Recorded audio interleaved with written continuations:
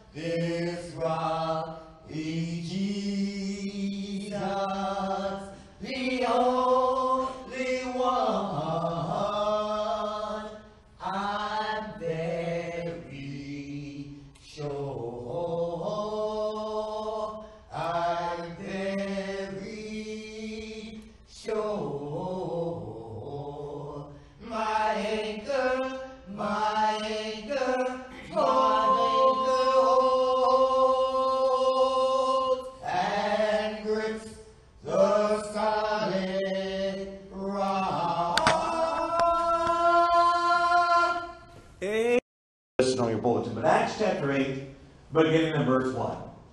Saul was in hearty agreement with putting him, the him was Stephen, to death. If you remember last week, Stephen, the first Christian martyr, he actually was part of fulfilling what Acts 1 8 said. When before Jesus ascended, he promised his disciples that they would be filled with the Spirit, empowered from on high, empowered to be his witnesses. And in the Greek, that word witness is martyrios, which means martyrs. I've done it in the past and said, How many want to be a witness for the Lord? And all, and all kind of hands go up. Now, that word in the Greek means, means martyrios. How many want to be martyrios?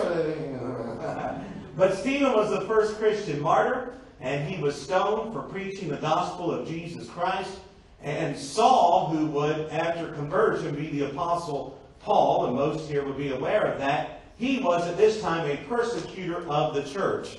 And so that's what's referred to here. So Saul was in hearty agreement with putting Stephen to death. And on that day, a great persecution began against the church in Jerusalem. And they were all scattered throughout the regions of Judea and Samaria, except the apostles. So devout men buried Stephen and made loud lamentation over him. But Saul began ravaging the church, entering house after house and dragging off men and women. He would put them in prison. Therefore, those who had been scattered went about preaching the word. Philip went down to the city of Samaria and began proclaiming Christ to them. The crowds, with one accord, were giving attention to what was said by Philip as they heard and saw the signs which he was performing. For in the case of many who had unclean spirits, they were coming out of them, shouting with a loud voice, and many who had been paralyzed and lame were healed. So there was much rejoicing in that city. Now there was a man named Simon who formerly was practicing magic in the city and astonishing the people of Samaria, claiming to be someone great. And they all, from smallest to greatest, were giving attention to him, saying, This man is what is called the great power of God. And they were giving him attention because he had for a long time astonished them with his magic arts. Verse 12. But when they believed Philip preaching the good news about the kingdom of God in the name of Jesus Christ, they were being baptized, men and women alike. Even Simon himself believed, and after being baptized, he continued on with Philip. And as he observed signs and great miracles taking place, he was constantly amazed.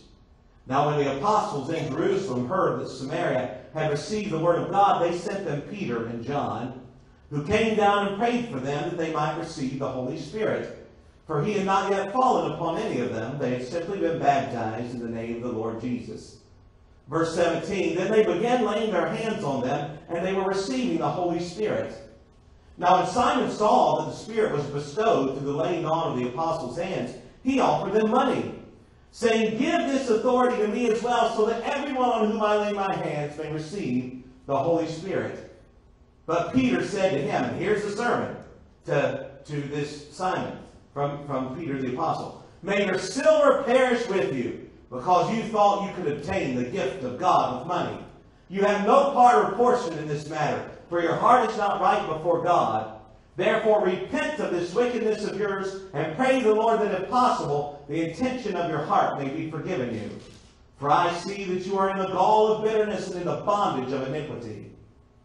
But Simon answered and said, Pray to the Lord for me yourselves, so that nothing of what you have said may come upon me. Verse 25 So when they had solemnly testified and spoken the word of the Lord, they started back to Jerusalem and were preaching the gospel to many villages of the Samaritans. Again, preaching mentioned the second time here, without the content of these specific uh, sermons to the crowds. Now, verse 26, we go back to Philip. But an angel of the Lord spoke to Philip, saying, Get up and go south to the road that descends from Jerusalem to Gaza. This is a desert road. So he got up and went, and there was an Ethiopian eunuch, a court official, Candace, queen of the Ethiopians, who was in charge of all her treasure, and he had come to Jerusalem to worship. And he was returning and sitting in his chariot and was reading the prophet Isaiah. Then the Spirit said to Philip, Go up and join this chariot. Philip ran up and heard him reading Isaiah the prophet and said, Do you understand what you are reading? And he said, Well, how could I unless someone guides me? And he invited Philip to come up and sit with him. Now, the passage of Scripture which he was reading was this He was led as a sheep to slaughter, and as a lamb before its shears is silent, so he does not open his mouth. In humiliation, his judgment was taken away. Who will relate this generation? For his life is removed from the earth. Verse 34. The eunuch answered Philip and said, Please tell me, of whom does the prophet say this? Of himself or someone else? Then Philip opened his mouth, and beginning from this scripture, he preached Jesus to him. We don't have the content of this sermon, but we know he used scripture and he preached Jesus. Verse 36 As they went along the road, they came to some water, and the eunuch said, Look, water, what prevents me from being baptized? And Philip said, If you believe with all your heart, you may. And he answered and said, I believe that Jesus Christ is the Son of God. And he ordered the chariot to stop, and they both went down into the water, Philip as well as the eunuch, and he baptized him. When they came up out of the water, the Spirit of the Lord snatched Philip away, and the eunuch no longer saw him, but went on his way rejoicing. But Philip found himself at Azotus, and as he passed through, he kept preaching the gospel to all the cities until he came to Caesarea. When I was in college, uh, my second year, my sophomore year in undergraduate studies, uh, I became the lab assistant for earth science. And uh, later on, I would be a teaching assistant for uh, Old Testament, but I hadn't yet passed my undergrad. I had to pass that first before I could become uh, teaching assistant in the theology uh, department for Old Testament. But uh, the second year in undergrad, the, the I'd had this class, Earth Science, and the professor there, I remember his name, Dr. Moline, and he asked me, he wanted me to be his lab assistant. Well, when you're in college, you need a job. And I said, yes, let me think about it, yes. And I, and I, I, especially when you don't have a car or transportation, if you can get a job right there on campus, hey. And I made $4.50 an hour. I still remember, and I was glad to get it too. But before I graduated, I went up to $5 an hour. I got a raise. Some of you young people are saying, well, what, 450 What can you buy for that? Uh, not much, but hey, it's better than zero, zero. All right. So at any rate, I, I worked for this man, and one of the things that we had to do in earth science class was he had this set of rocks, and there was about 35 or 40 rocks, and he'd have them on a display. And what the students had to do is before the end of the semester, they had to be able to look at these rocks, and they could touch them too, and, and whatever they wanted to do, but they had to look at these rocks, and they had to put on a piece of paper. Yep, not everybody carried around a little laptop computer then. It was on paper, pencil and paper. They had to put in the, uh, on the paper, it was part of their test, part of their grade, they had to correctly identify these 35 to 40 rocks, be it granite, or be it malachite, or be it pyrite, gneiss. I still remember some of these names, and that's been a year or two ago. All right.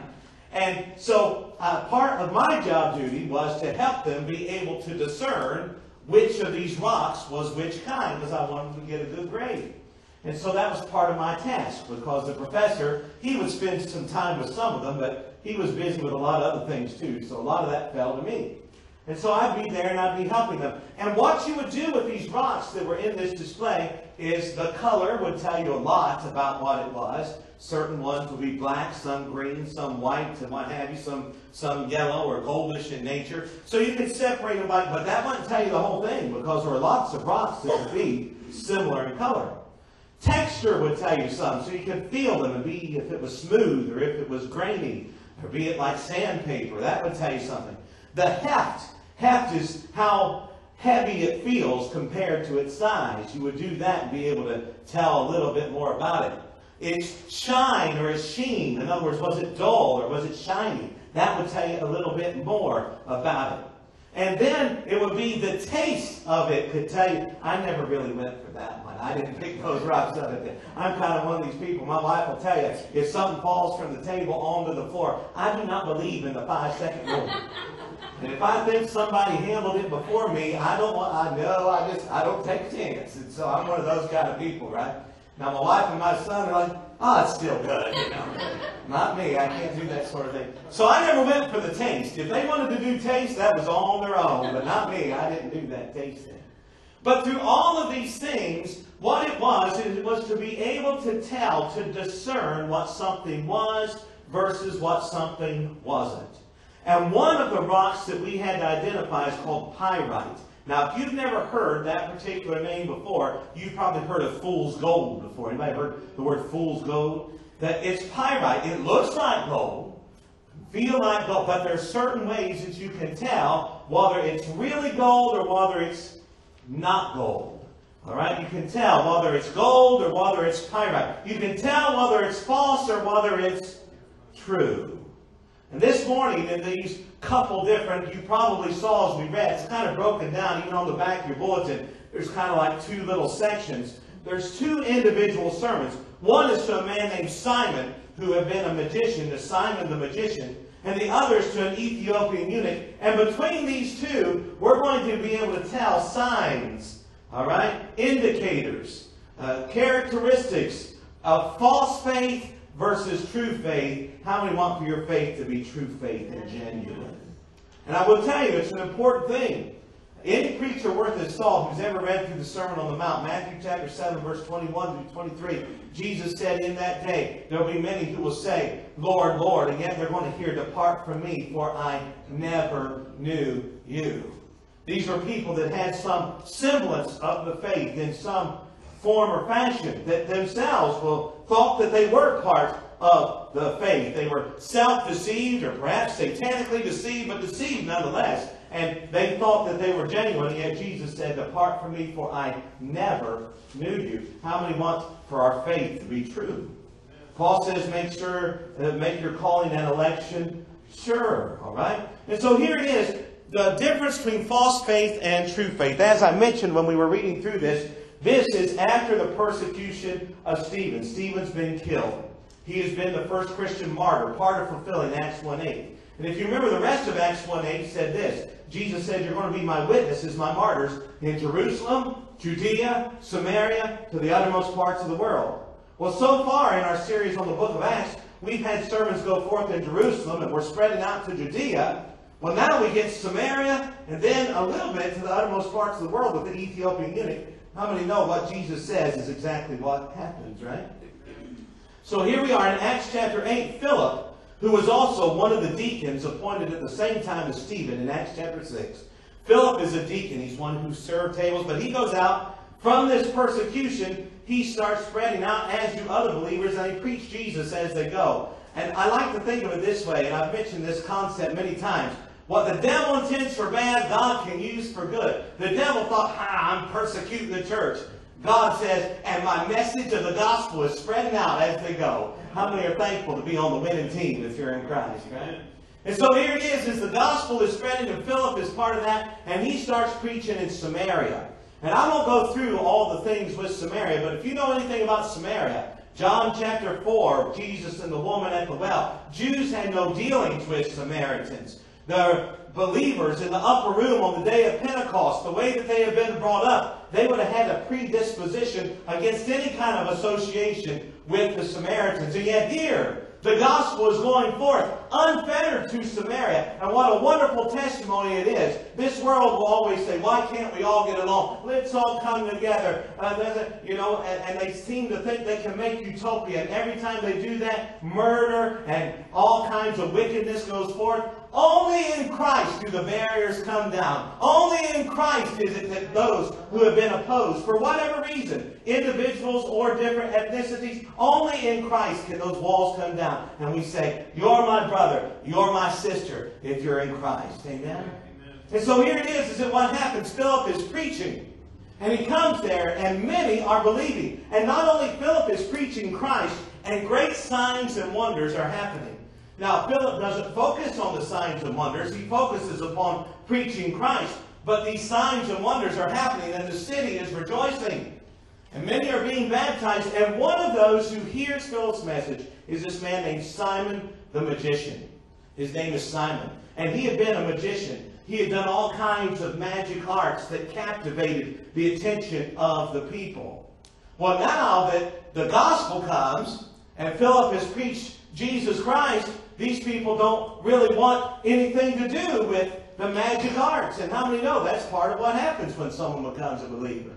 There was a brother here a few weeks ago, and he was sitting about midway here, and he's here sometimes on Wednesday nights, and he wouldn't mind me saying it to you because he gave the testimony to me and a few others that were here after church that night. But he had been, he asked me, he says, Pastor, do you have a metal trash can? I said, no. I didn't know why he was asking. I said, no, all we've got are these plastic things that the, that the city gives us. I said, uh, I said, uh, what do you need? A, uh, you need a metal trash can? He said, yes. He said, because I've got these tarot cards and I want to burn them because now I follow Jesus. I don't want nothing to do with those tarot cards. I said, brother, if you don't find one, you call me. I'll go down and buy you one. Williams Hardware is right down here. I said, well, that's a good thing.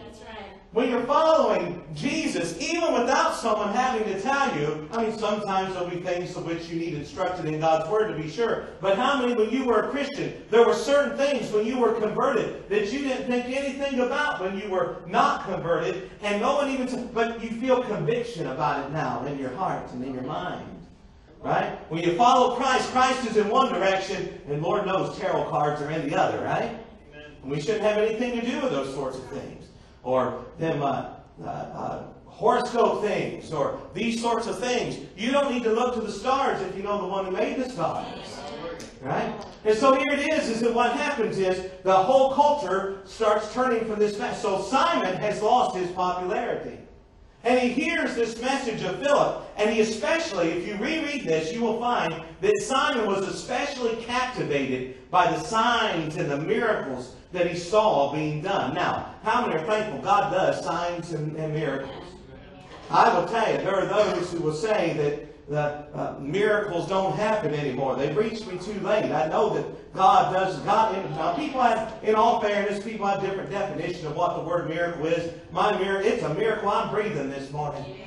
I mean, it's a miracle you're breathing this morning too, because you wouldn't have that breath word apart from divine intervention. Right? And so, divine intervention, God still intervenes in the affairs of men. And aren't you thankful for His hand and for His touch and for His encouragement? It is really a shame now, do I think miracles are for sale? No. Do I think that God does miracles so that certain people can say, look at all that I did? No. Do I think it is that you can, uh, you know, give X number of dollars and receive what these charlatans tell you receive if you give it? No, I don't. But do I believe God still does signs and wonders and miracles? I'm thankful that He does. Aren't you? But here it is, is that, that Simon, he's captivated. And it says that he believed, but his belief will, sh- will show itself to be false, not genuine, because of certain things that will happen. He says that he believes, and he's even baptized.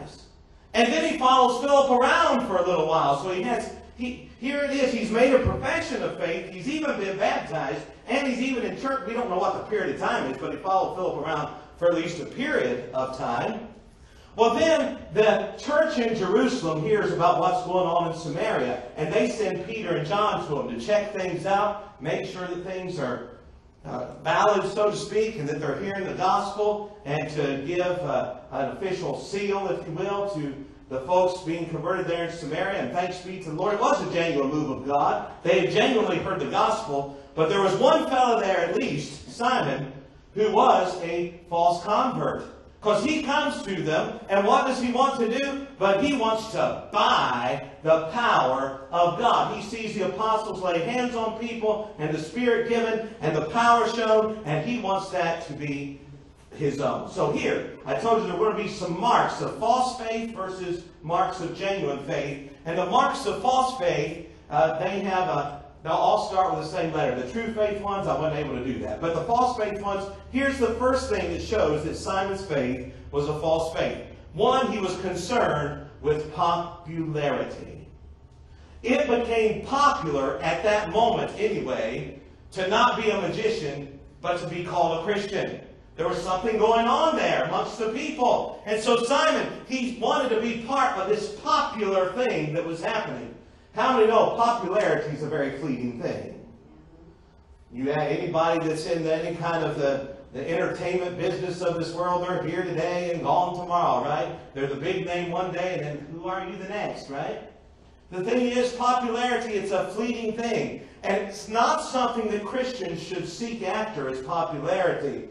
Not only is it very fleeting, but usually, if you're, say usually, I would say always, if you're seeking popularity with this world, it's a mark of not genuine faith in Christ. You go back in the Old Testament, the people of God, Israel, in the book of 1 Samuel, what do they do? But they want a king. They hadn't had a king. God didn't want them to have a king. God foreknew they would have a king in Deuteronomy 17, but that's a story for another day. But He didn't want them to have a king, but they wanted a king. You know why they wanted a king? Because they wanted to be like all the other nations of the world. To do what's popular. How many know? If everybody's doing it, most of the time, that's a warning sign. It's probably something that shouldn't be done. Right? As far as seeking out popularity.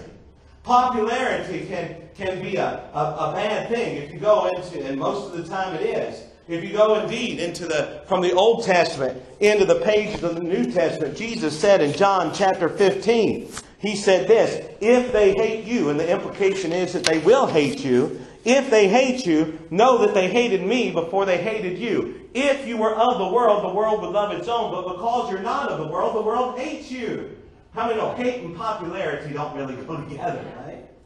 When it is that Jesus, in preaching in the Sermon on the Mount, Matthew chapter 5, verses 11 and 12, at the end of what we commonly call the Beatitudes, Jesus said, Blessed are you when men persecute you and revile you and say all manner of evil against you falsely, for so persecuted they the prophets which were before you. He said, Rejoice and be exceedingly glad, for great is your reward in heaven. In other words, the prophets weren't popular back in their day. Even though at Jesus' time the people would say, hey, these were the prophets of old. But when they were the prophets of old, they weren't treated very well, and their message wasn't very popular. Kind of like those painters. You ever heard of a painter? That during the time that he painted, he was penniless. But now that he's dead and gone, they say it's worth a gazillion dollars, right? Well, they weren't popular in their time. The prophets weren't. Jesus, how popular was he? Well, he was popular for a period of time, but they ended up saying crucify, crucify. The New Testament church already experienced the persecution coming with the uh, calling on the carpet of Peter and John, being thrown in jail that we talked about, and with the martyrdom of Stephen. How many know the things of this world are always at enmity with God? And if we're seeking out popularity, just because it's the popular thing going on, even if it is, it's the Christian thing, so we're going to be popular and do the Christian thing, but if you're not genuinely converted, that's a sign of, of false faith. I remember I was in high school and there was a, uh, a group called the Power Team. Some may remember them. There was a group called the Power Team, and, and uh, uh, I will say that all that they did was good, all that they did was bad. But I'm, I'm a teenager at the time, and here this big thing's coming. And I wanted my friends to know Jesus. So there was a friend I had. And I invited him and said, please come, come. And we went out to the Civic Center. Those who lived here a long time know Lee Civic Center used to be where everything was. That's right. We didn't have Harborside or Caloosa Sound or whatever they call it now. We didn't have Germain or TECO or whatever they're calling their It was Lee Civic Center. That's where we went for everything. Down there by where Brother Kenny lives. And so it, you went there for everything. And they were there at the Civic Center, and I invited my friend. His name was Richard. And I invited my friend down there to the, to the Civic Center, the power team. And at the end of it, the, the uh, I don't even remember all that was said and done, to be honest. I was just mostly praying for him the whole time, that he would somehow be convicted and drawn into Christ. It came at the end of the service, and they had the altar call, so to speak. And this stadium packed with people, what happened? But a bunch of people would raise their hand that they wanted, and my friend was one of them. I was so happy. But yet, as it turned out, he was doing what was popular. Now, listen, that doesn't mean that every crusade or stadium thing is bad. I'm not saying that. I'm just saying, whether it be in that context or any context, it can be that people do what seems to be the thing to do at the time, but the conversion isn't genuine, right? And that's what seemed to be with him because he went down. But then when I talked with him afterwards, it's like there's no change. There's nothing different. He doesn't have any concern about the things of God. The true marks of faith aren't there. Some of you will be familiar with history. Christianity was persecuted up until an emperor named Constantine. Constantine came and he made it where the he said he was converted to Christianity, and he said that that meant everybody in his empire was a Christian. How many know that ain't the truth, right? And, and then the things became so watered down. So popularity, that's one, he was concerned with popularity. That's a sign that his conversion, his faith wasn't genuine. Here's the second one. Not only with popularity, but prominence. You say, don't those two mean the same thing? No. Popularity meant he was doing what was popular at the moment. How many know there's most of the time Christianity hasn't been popular? By, by the way, 2 Timothy 4.1, some of you know that, where Paul says, preach the word in season and out of season. It means when it's popular and when it's, and how many know mostly it's not. All right, throughout Scripture. But here, he not only, Simon the magician, not only wanted to be part of what was popular at the moment, but he wanted to be prominent. In other words, he wanted to be at the head of what was going on. He had been the head before. He had been a standout before, and all the people came to him. He wanted to be like that. He wanted to be like one of the uh, apostles. He wanted to be one that was at the head of the class, so to speak. He wanted to be prominent even amongst the movement, which was popular at the time. He wanted to be prominent, have an elevated position. How many know Jesus said, if you want to be the greatest, you will be the servant of all. Scripture also teaches not many should want to become teachers or those who would be prominent as the world may look at it because there's a harder, uh, there's a harder uh, uh, judgment for those who are in such positions. He had no, no, no idea of uh, living up to any responsibility. He just wanted to be prominent. We want to be prominent at the head. I mean, pride comes before a fall. Next is this prosperity. He wanted to be prosperous. And some may say, well, wait a minute. Simon doesn't say, give me money. He's willing to give money for the, to, in order to have this power. So how do you get prosperity out of it? How many know he wanted to give money to get this power so that then he could get money? That's what he did as a magician was he had this power which he could give money. He wanted to give money in order to... I know that doesn't happen anymore. But back then he wanted to give money and pay for something, religiously speaking, so he could get this power and then make money off of it. Now, don't get me wrong. There are certain ones that God has to be prosperous, certainly in the family of God and in the in the world at large. There are those who don't know Christ and yet in terms of worldly goods are very prosperous. But uh, and we didn't read it because it wasn't a sermon. But back in Acts 4, Barnabas is talked about, and he was a man of means. And so certainly God's people can be blessed in these ways. I'm not saying that they can't. But that and, and, and God's favor is upon them in those areas of their life. And how many know when you do become a Christian, there does tend to be some prosperity that comes to you, even so to speak, of this worldly good. Why? Well, you ain't uh, you ain't down there and uh, doing certain things that cost a bunch of money anymore, and now here it is. Uh, things tend to go better for you if you're not engaged in those sinful activities, right? How we found that to be the case? You become a Christian, and hey, look at this. I'm not spending money on this, this, this, and this, and this that are all sinful things, and so there's there's little extra in the, in the bank account. But this man, he wanted to be prosperous. He was chasing after the power. He was chasing after the prosperity. He was chasing after the dollar. And you know what Simon says to him? May you and your silver perish with you. Because you thought you could buy this power of God. The Gaithers wrote a song about the church.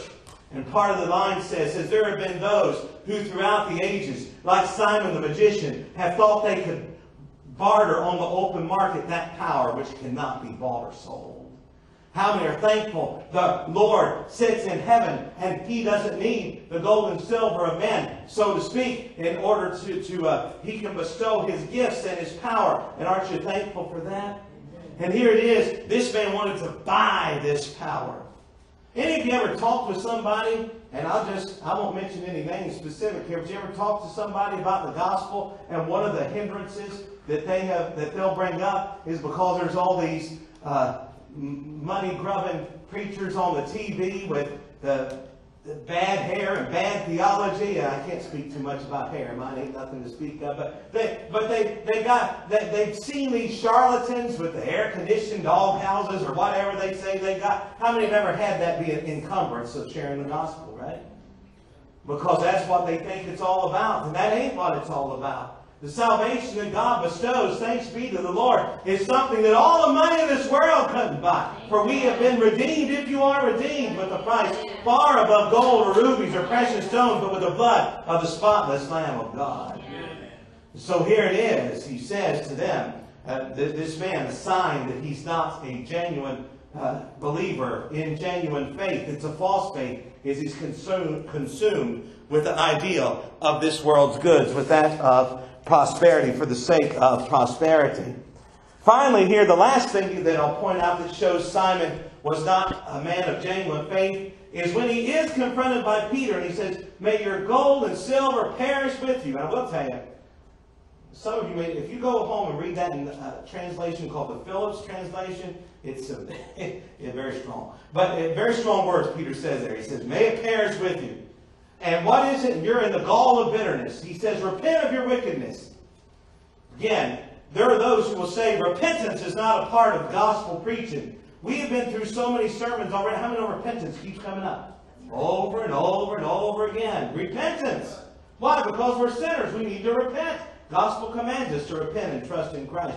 But at any rate, here's the last one. He wanted preserved from judgment. Notice what Simon says to him if you go back and read this portion of the scripture. When Peter confronts him and say, says, Repent, pray to God that you will be spared of the intention of your heart. What is it that he says? He doesn't even want to pray himself. He says, You pray for me that this may not come upon me. He doesn't say, You pray for me that my heart will be changed. You pray for me that I would yield to the Spirit and walk in righteousness instead of in sin. He doesn't have any kind of indication in his prayer that he wants to genuinely repent and turn and go the other direction. He just wants saved from the judgment. He wants preserved from the judgment. He wants saved from hell, but he doesn't want saved from sin. How many know, I used to put it this way, there's a lot of people that want fire insurance, but very few people that want to be on fire. in order to be on fire for God. A lot of people want fire insurance in case, just in case, you know, case this thing is really real, I want to have some fire insurance. But there's no indication in their heart that they actually have a burning in their heart for the things of God, for Scripture, for prayer, for the family of God. This man was not concerned. He didn't even pray himself. He wanted Peter to pray for him. He says, You pray to God that this won't come on. He just wanted preserved from the judgment. Now, how many know? It is right to want to flee the wrath to come. It is right to want to be preserved from hell, to not be in the place where the fire is not quenched and the worm does not die. That's a right thing. That having been said, I would tell you, if that's all that someone is concerned with and they have no fervor for the things of God whatsoever, it's a very uh, good sign that their faith might not be genuine, if that's all that they're interested in. Now, what happens is, is after this, the second part of this message, the second half, if we dealt with signs of false faith, now we're going to deal with signs of true faith. And what happens is, is after talking about Peter and John coming to Samaria, and them uh, then going back and preaching the word as they went, we switch back to Philip, the guy that God used to start this revival in Samaria. And what is Philip? There's this big revival going on. And what does God tell him to do? He sends an angel, actually, to tell him, leave this revival and go to this desert road. And if you do some research on it, there were two roads that went from Jerusalem to this specific spot where this Ethiopian eunuch would have been coming back and forth from. And one was widely traveled and one was not. He was called to the one that was not. And it was, it was a, a, a deserted kind of road. Not many people traveled it and he's traveling it. It's a desert area, very hot. It's in the heat of the day. How many had some of the heat of the day from the parking lot to the door this morning, right? Sun's working extra overtime out there. And Brother Todd says that the hottest place in Fort Myers is this sidewalk right out here. I think he's got it right. We used to have a big tree out there, but uh, but it went down and now it's hot. But at any rate, here it is, is that, that he, Philip, is told to leave the revival and to go to this deserted road. And you know what he does?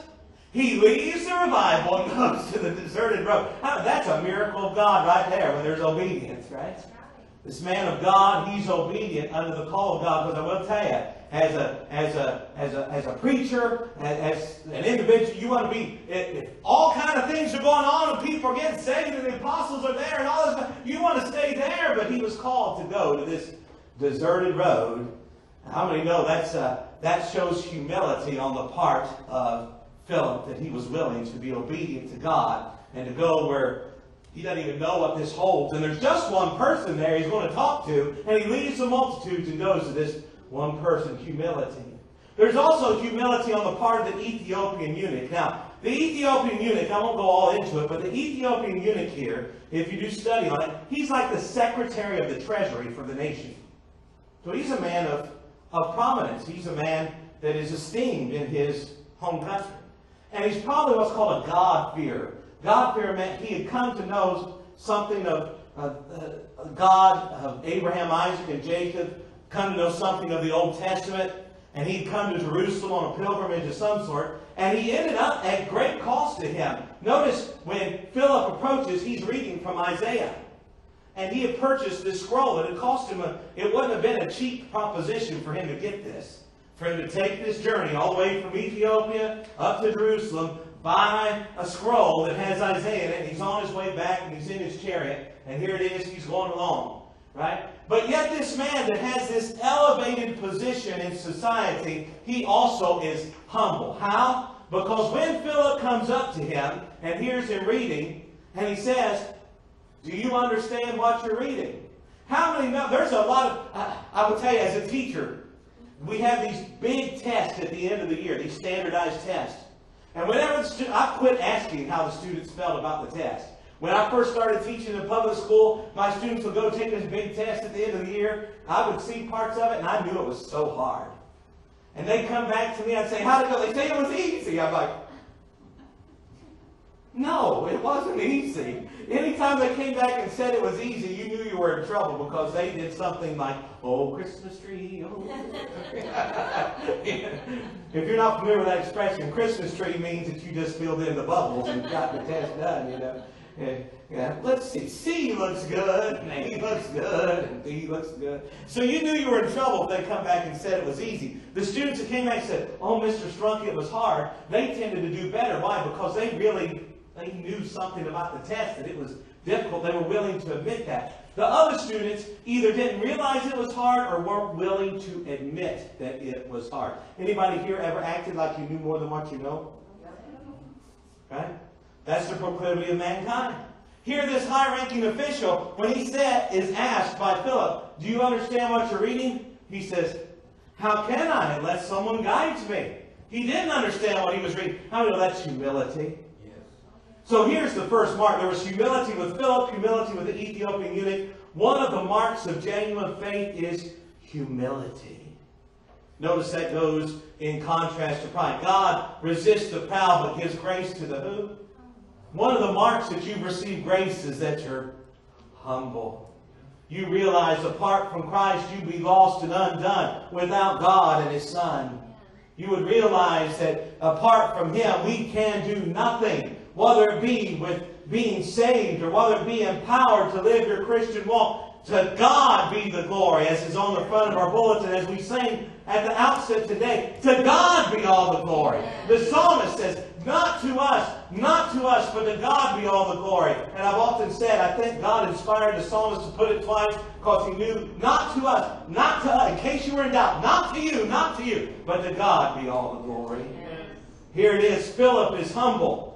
This Ethiopian eunuch is humble. A mark of the believer is that we will be humble. Jesus himself, Philippians chapter 2, Paul instructs believers there, have this attitude or this mind in you that also was in Christ, that though he was in the form of God, and counted it not robbery to be equal with God, being the second person of the Godhead. Yet he humbled himself, coming from heaven to earth in the form of a man, and then being a servant, and then dying, and then dying a death on a cross. And because he was willing to be humbled, God has exalted him and given him the name that is above every name, that at the name of Jesus, every knee will bow, heavens on uh, of knees in heaven, on the earth and under the earth, and every tongue confess that he is Lord to the glory of God the Father. How many know the believer is humble? Here it is, when it is that you look here at the next thing that would be a mark of a genuine believer was his faith was scripture based.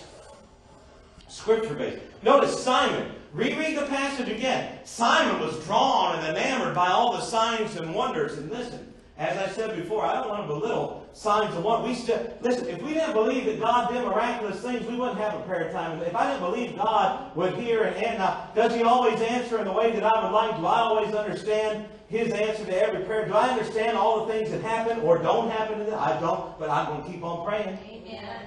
How many here will keep on praying with me?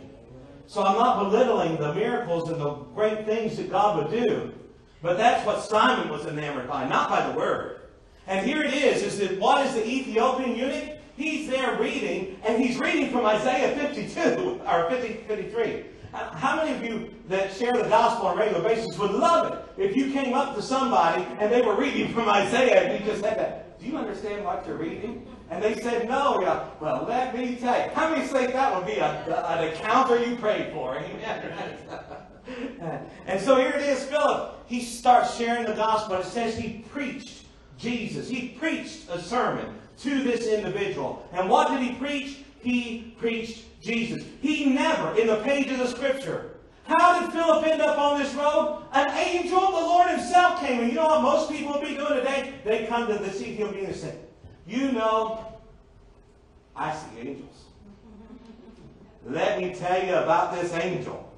And my wonderful. No. Let me tell you about Jesus. Let me tell you, He is the one. You ask, is it the prophet speaking of himself or someone else? I'll tell you who was speaking about. He was speaking of Jesus, who was wounded for our transgressions, bruised for our iniquities. The chastisement of our peace was upon him. By his stripes we are healed. He was silent before his shears, but he opened not his mouth. And then he rose up from the dead. He died for your sins. He rose for your death. Let me tell you about Jesus. And he tells him about Jesus. And when he tells him about Jesus, it's scripture based. This man, he has the next identification of a true believer. Humble, scripture based. The next would be this is that this fella, this Ethiopian eunuch, he has repentance. You may say, well, wait a minute. I don't see anywhere there where it says he repented of sin. This is true. But what does he ask? May I be baptized, right? May I be baptized? Right? Now, baptism, again, I point out in here, uh, our, our, view here is baptism is, is uh, a representation of what has happened spiritually speaking, and that it's for believers' baptism. But I will tell you, a genuine convert wants to be baptized, and part of that baptism is this. What is it that we say? And you know, when, we, when we're here in the fellowship hall, I'll ask two questions. I might ask it all in one, but it's two parts. Have you repented of sin? Have you put trust in Christ alone for salvation? Now, I've asked folks that before they're baptized, but I asked them that so they publicly declare this. Can I tell you? By being dumped down in the water, that is, but when John the Baptist went about baptizing, everyone that came, that was a confession. They're saying, I'm a sinner, I need cleansed. Here was this man. He is repenting and confessing he's a sinner because Jesus had been preached to him, and no doubt Philip had mentioned baptism to him as well, because a man has to be baptized. And what when he goes down, that's confessing, I am a sinner. I'm buried with Christ in baptism. When Jesus was baptized, had he committed any sin? No, Jesus never committed any sin. But what he was doing was he was identifying with the death that sinners should die because he was going to die on the cross for us. How many know the wages of sin is death? You know what we deserve? Death. And not just death like one and done. A lot of people could live with that kind of death. But it's a death, an eternal death. Like a life is eternal life, death is an eternal death where the fire is not quenched and the worm doesn't die.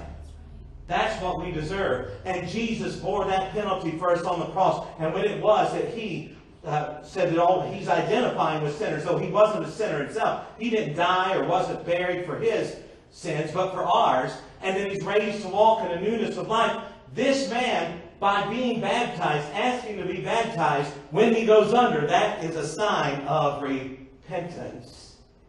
That I'm buried with Christ in baptism. And then what is it? He's raised to walk in a newness of life. Now, when this man asks to be baptized, right?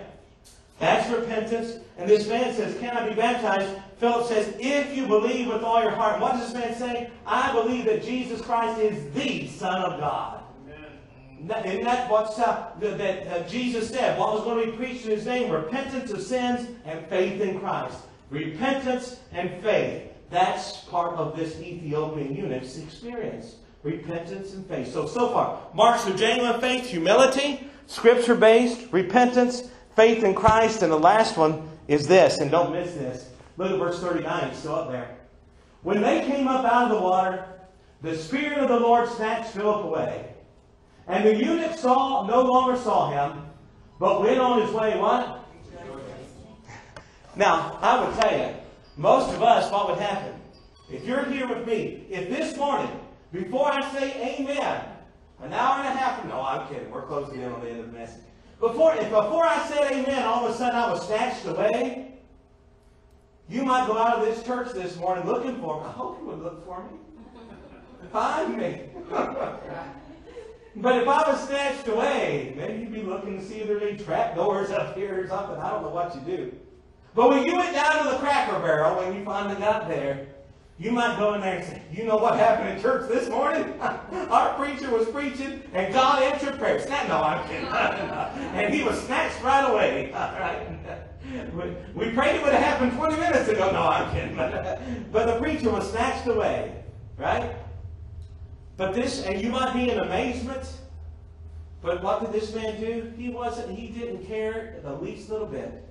Philip may have left, but Christ remained. And here it is. I heard someone say, Alistair Begg, if you've ever heard him, he sounds smart. He has this, this Scottish accent. Everything sounds smarter with that accent. He said, a good teacher is like John the Baptist. He, he declares the way, or he clears the way, he declares the way, and then he gets out of the way. That's right. And what he meant by that is that this man would follow Jesus. And here this man, he's is he rejoicing because Philip's gone? No. He's rejoicing because he's experienced salvation. He has put his trust in this Jesus, the Messiah, proclaimed in Scriptures. And he's forgiven.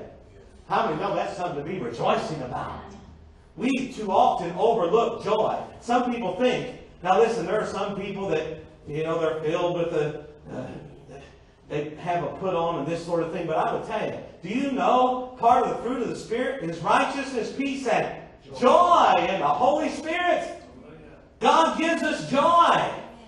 The mark of the Christian isn't to knock your own persimmon juice all the time, all right? It, and now that doesn't mean life is all happy and slappy. We rejoice with those who rejoice and weep with those who weep. But how many are thankful? There is joy in the Lord.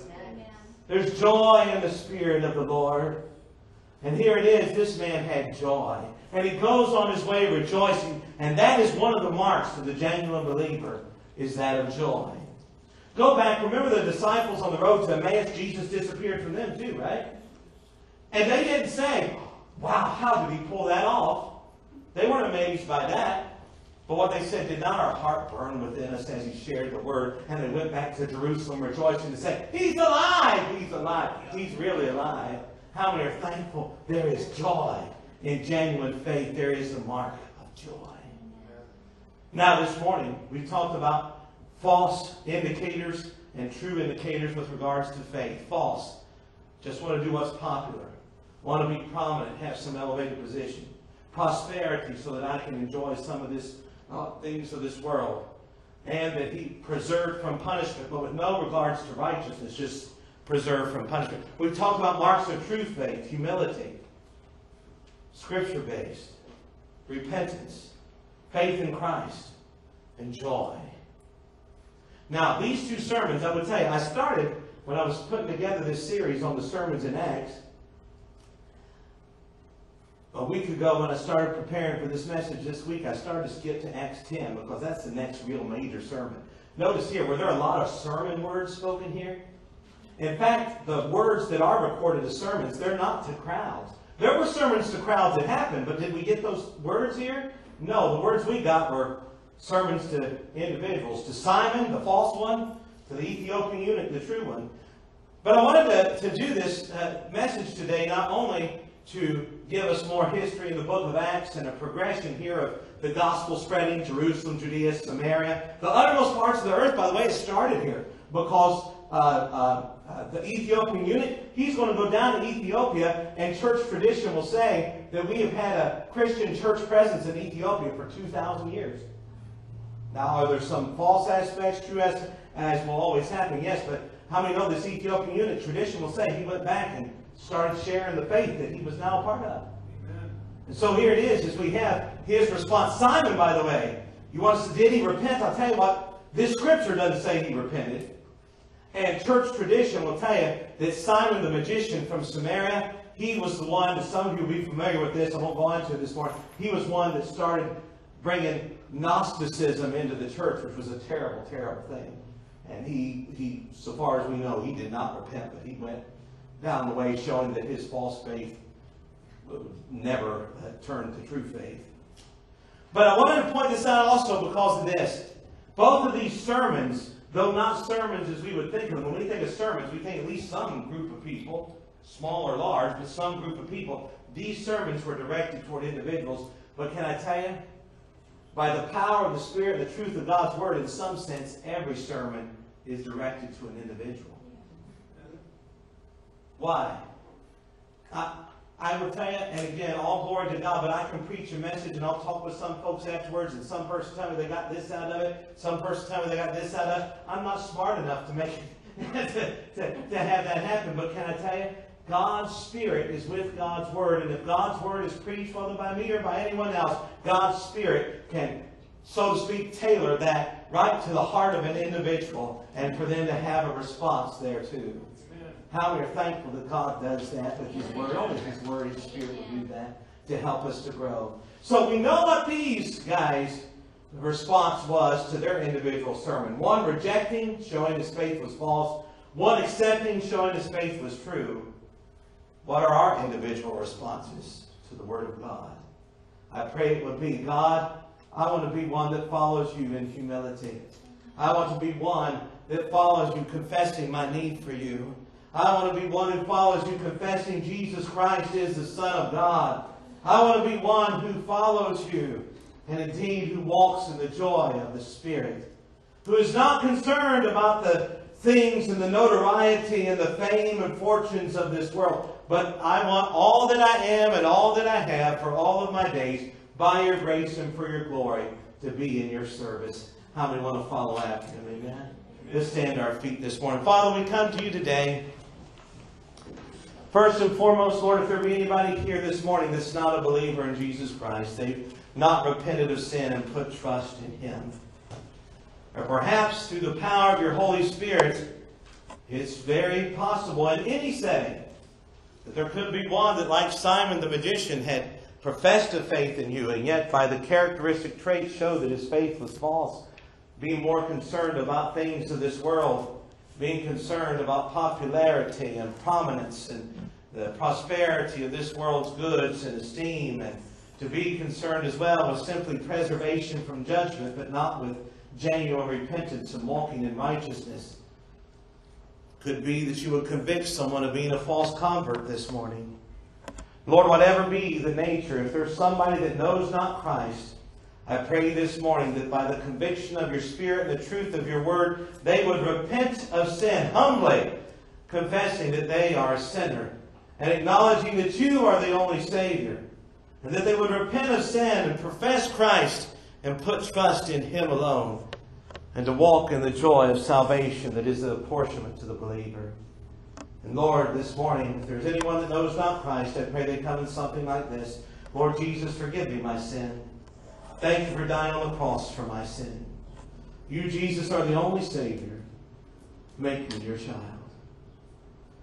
And Lord, for those who are your children this morning, I pray that, like this Ethiopian eunuch, that we would walk in humility, that we would indeed be quick to yield to the conviction of the Spirit, Lord, to be cleansed. Pray that we indeed would be those who follow you and walk confessing that Jesus Christ is the Son of God, and to tell of him wherever we would go. And that we would walk in the joy that comes only genuinely from your Holy Spirit. For indeed, those who are your children, those indeed who walk in your Spirit, know of the joy of your salvation. Lord, be with my brothers and be with my sisters this day. Bless them, strengthen them. We lift up again, especially this morning, our dear sister Cindy and brother Mike and their family, for your comfort and for your strength to be extended to them. Lord, we pray for your hand to be upon every request, spoken and unspoken this morning. Bless my brothers and my sisters. I pray that this day, that as the name of Jesus is lifted up, that indeed we would be encouraged and strengthened, buoyed on in hope to lift up in prayer, Lord, various needs, knowing that there is nothing beyond the scope of your power. And indeed, dear God, though we not uh, uh, follow you simply for the sake of signs and wonders and miracles, we are thankful, Lord, that you were doing those as the word was going forth and as, as it was that your power was seen. And we pray, dear God, that your power would move in various situations and circumstances this morning. And we thank you for what we have seen and pray that you would be glorified thereby. Lord, we come to you this day. Bless, encourage, strengthen my brothers and my sisters in their most holy faith. It's in that name of Jesus that we pray, in the power of the Spirit that we come. And all of God's people said, Amen. May the Lord bless you and keep you and cause his face to shine upon you. May he lift his countenance upon you and give you peace. May you know it is a hope you're calling of God in Christ Jesus and the surpassing greatness of his power extended to all who believe. Amen and amen. amen. God bless you today in Jesus' name.